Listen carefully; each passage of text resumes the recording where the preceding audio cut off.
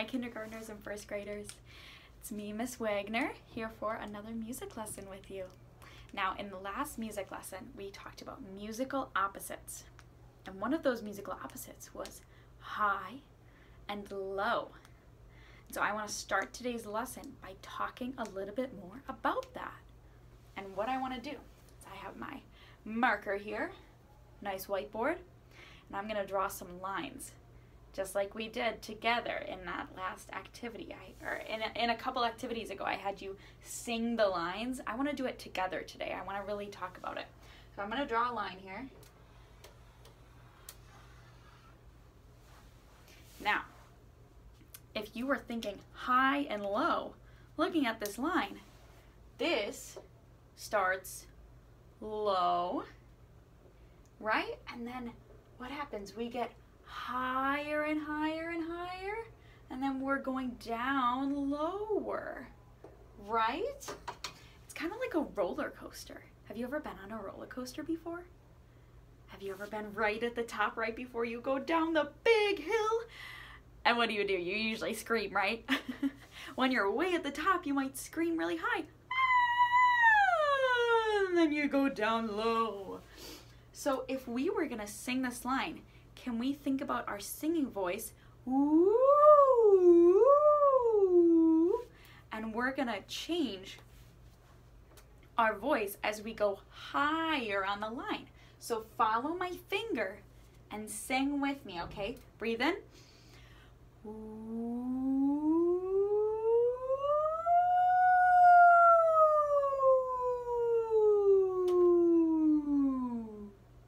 How'd you do?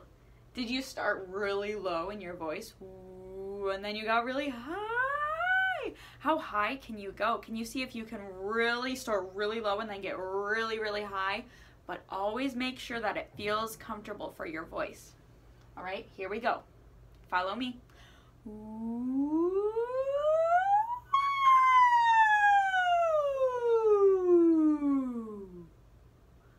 Very good. This is a really great way to just warm up our voice and get our voice singing and moving around so that we're using it, especially if maybe today you haven't even used your voice at all yet. You want to make sure that it's all warmed up and ready to go. That was a great line. Let's draw a different one. What should I do? I think I want to do maybe some loop-de-loops because that's fun. This was kind of like one of the ones that we did together. Can you follow the line? Follow my finger on the line and sing with me. Ready?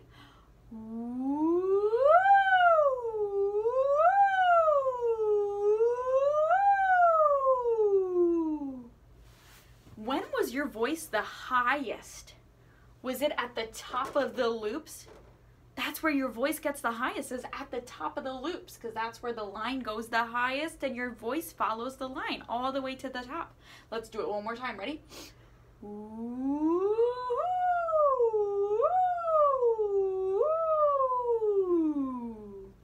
Notice how I'm not yelling or screaming or using my voice in a really scary way. I'm just singing.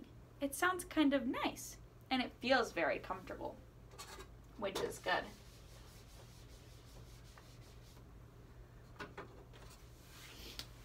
Now, let's do one more of these lines. Let's do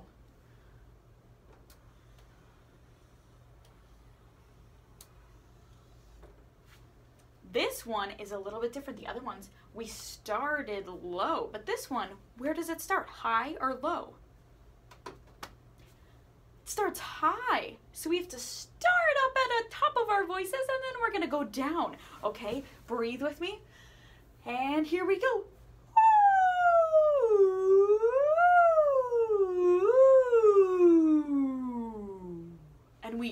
Really low. We st- we end at the bottom because we started up high. We have to go somewhere. We have to go down. It's like a slide. This one is like a slide. Imagine you're on the side and you have your hands up and you're sliding down. And can you sing with me?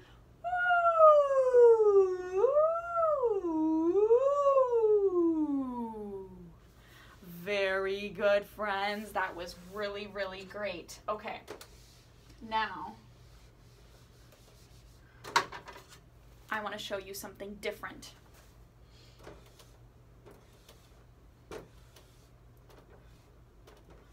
This looks familiar, right? This is like a musical staff, sort of. I'm going to draw some notes.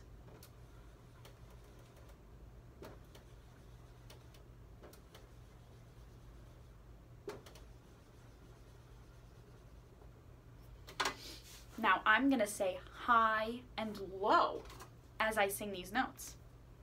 Okay? So what do you think this one's going to be? Is it higher or lower than, let's say, this one? It's above it, so it might be higher. So let's call this one high, and let's call this one low. So let's sing. High, low,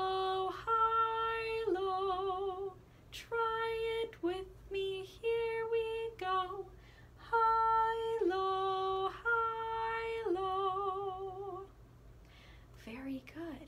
We're to come back to these notes a little bit later, but first, I want to give you a chance to really practice your high voice and your low voice by doing our vocal little game, Big Pig. So on the next page, you can watch that and do the speaking with me in your high voice and your low voice, okay?